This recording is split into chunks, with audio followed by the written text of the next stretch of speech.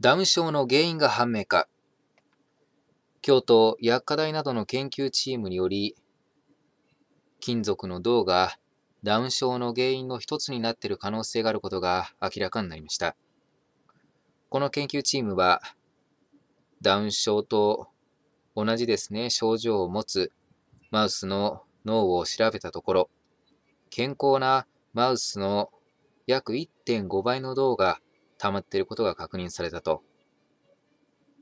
銅の量を10分の1以下に減らした餌でマウスを育てたところ、脳に溜まる銅の量が健康なマウスとほぼ同じレベルになり、活動が正常になったと。研究チームは、過剰な銅の蓄積によって脳内で活性酸素ができ、神経を傷つける一因になっている可能性があると説明をしております。こちら研究が進むことによって、ダウン症への治療が可能になるんじゃないかと思われますので、